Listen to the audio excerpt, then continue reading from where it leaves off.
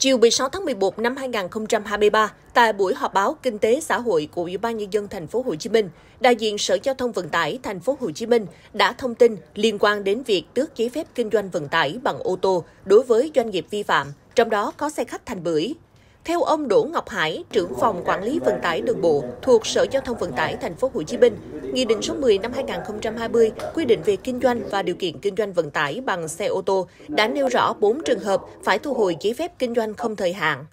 Căn cứ vào nghị định này, ngày 13 tháng 11 năm 2023, Sở Giao thông Vận tải Thành phố Hồ Chí Minh ban hành quyết định thu hồi giấy phép không thời hạn đối với công ty trách nhiệm hữu hạn Thành Bưởi do cung cấp bản sao không đúng với bản chính hoặc thông tin sai lệch trong hồ sơ đề nghị cấp giấy phép kinh doanh. 21 doanh nghiệp còn lại bị thu hồi do không kinh doanh vận tải trong thời hạn 6 tháng kể từ ngày được cấp phép kinh doanh hoặc ngừng kinh doanh vận tải trong thời gian 6 tháng liên tục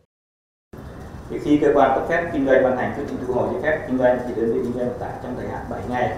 kể từ khi quyết định có hiệu lực phải nộp lại giấy phép kinh doanh và phù hiệu biển hiệu cho cơ quan cấp phép giấy phép kinh doanh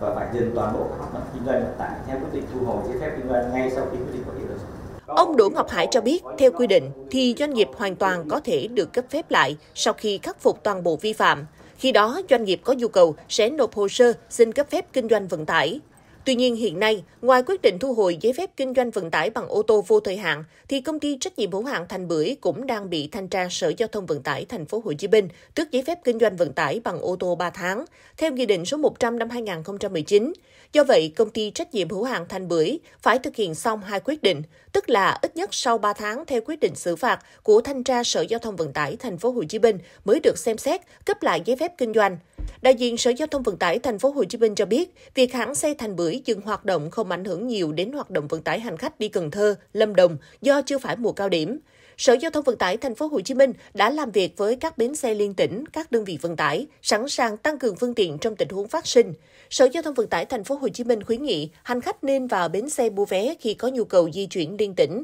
để tránh bị ép giá, hét giá cao.